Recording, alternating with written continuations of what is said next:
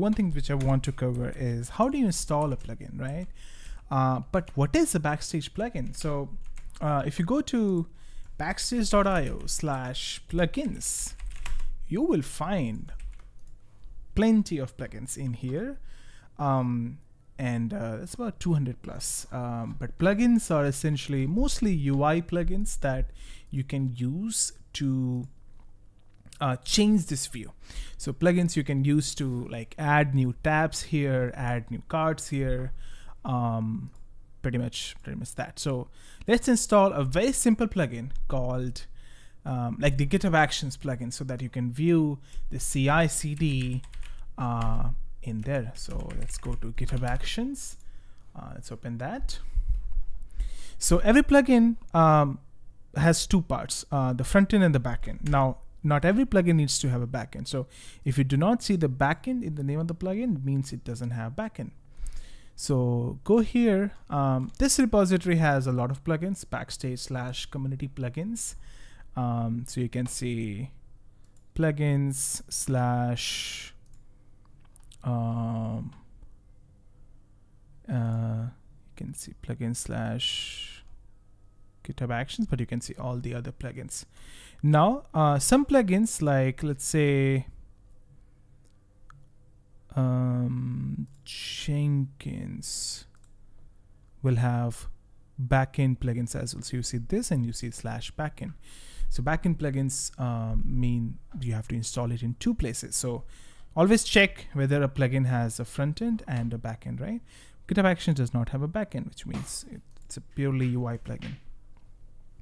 So what does this need? Um, the best place to read plugin docs is is the readme of the plugin. That's supposed to be updated all the time. If there's any change, they change the readme of the plugin. So come here, find the readme, go through this uh, anytime you're installing plugin. So this is saying you need a GitHub OAuth app for this plugin to work, and that is why it does not have a backend because it authenticates the user and shows using the user information.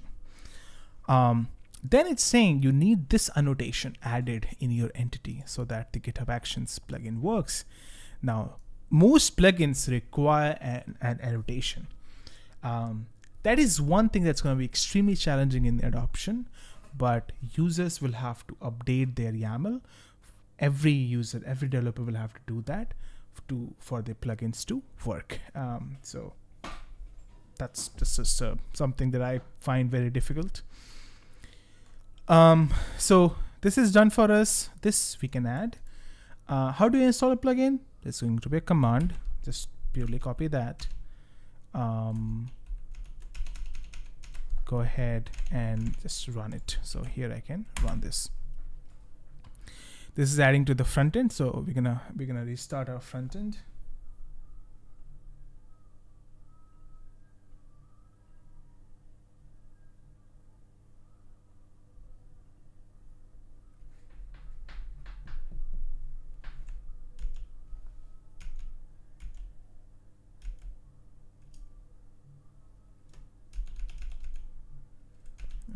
Run some music.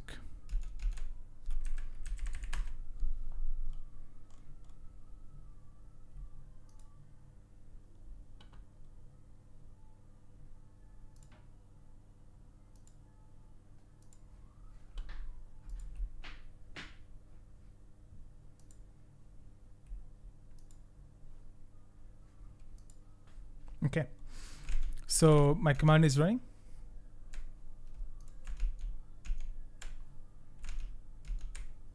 okay uh, I need to restart my backend. Sorry front end here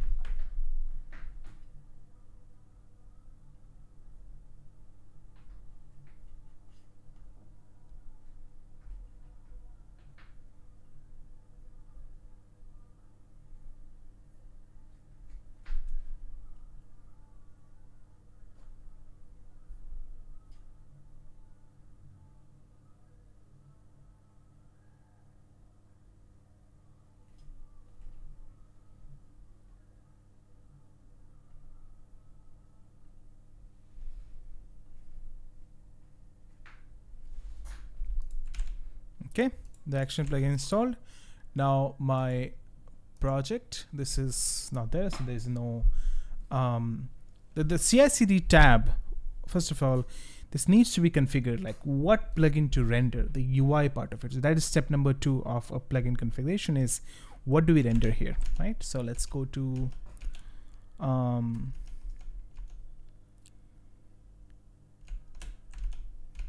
go to our code base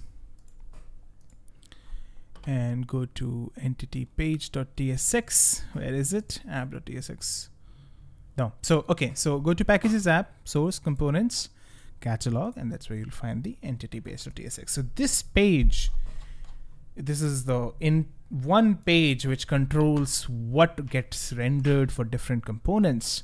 So here you can say if this is a component then we'll render the component page which is here now for the component, you can also have sub pages based on the type.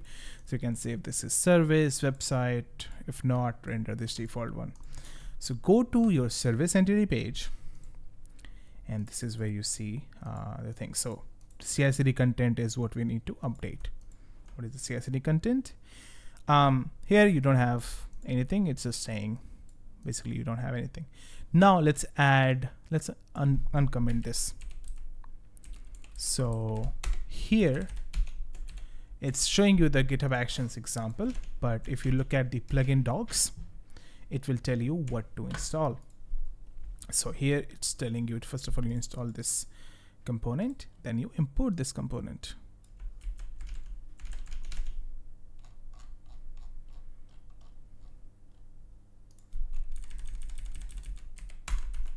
Okay, my components are imported and it's just telling you to add as a tab which is um, already added.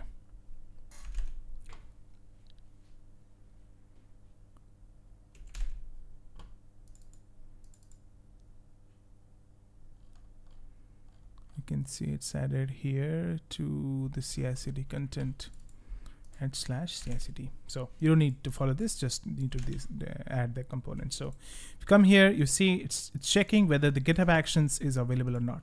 What does this mean? It's, it means it checks for the uh, the project slug uh, annotation that's added.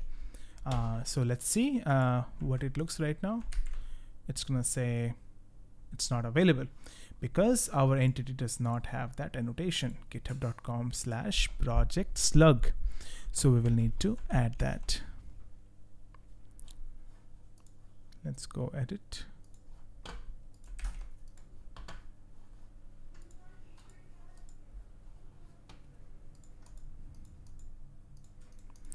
So we add github.com slash project slug. And this is OrkoHunter slash IDP ingestion example. But depends if we have any action runs here or not. Um, looks like I don't. So if I had GitHub Actions run here I would have used it. I'm gonna use some other repository where I have GitHub Actions. So I have this other project called page speaks I'm gonna configure that here. Hit refresh reload go to CI/CD and now it's working now it's asking me to sign in via GitHub. It's going to use the same GitHub OAuth app that I've configured for sign in. And based on whether I have access to that um, repository, it's going to use it. Now it's saying the component has GitHub action, but no data was found. Have you created any workflows? Click on the button to. Um, so let's take a look at that repository.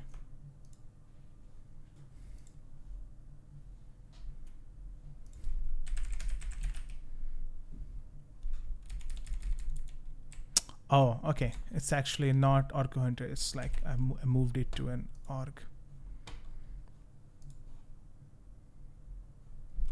Yes, so there we go.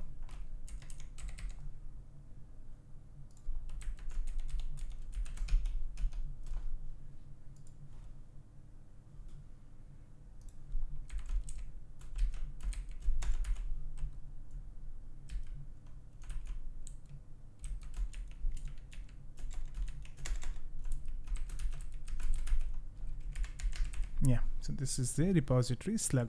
Slug means um, org slash repository. Okay, uh, I've got this. Let's hit refresh.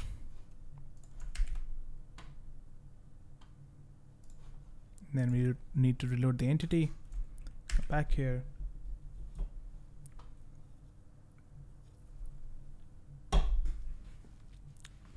Got the plugin working.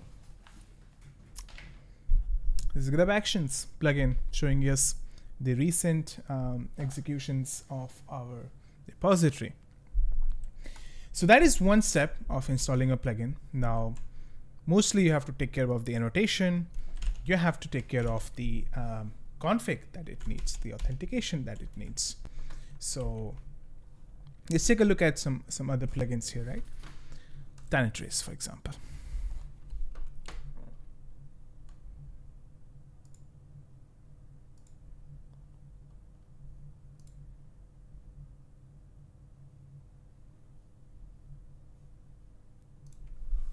Right? So this is how this plugin looks. Um, so most of the steps include like installation um, authentication so generating like an API key for that. And then you need to add this uh, proxy endpoint. Um, if it's a front-end plugin if it needs to talk to Dynatrace API it needs access to the API token. Now the API token cannot be exposed to the front end directly. That's why this proxy backend helps us connect to that API via a backend proxy. And then it could need more configuration like, hey, is the base URL, what is the base URL for my Dynatrace instance? It needs an annotation just like the other one. Um, some plugins can have one or more annotations. Some plugins can also have one or more entity cards. So they, they could either be a card that they're exposing on overview page or a tab they're exporting or a full page plugin. A very good example for that is um, PagerDuty.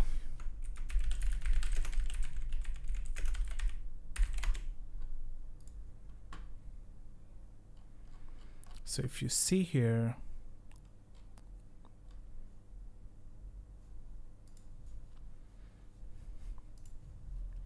I love this plugin. This very um, very in uh, yeah lots of features in there so all right um this is a card but they also have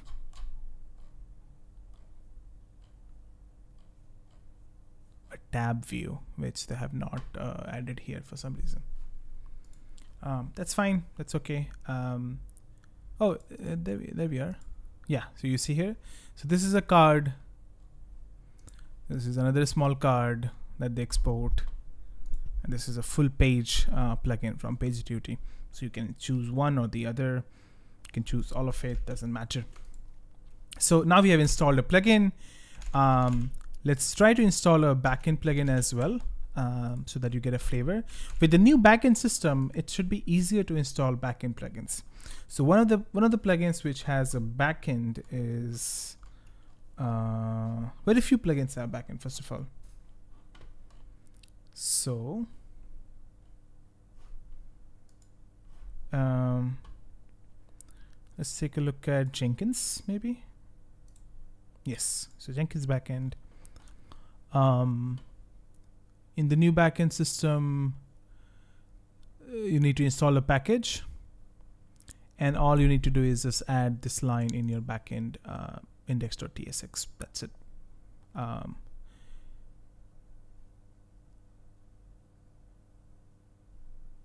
this thing is not needed. This was the old um,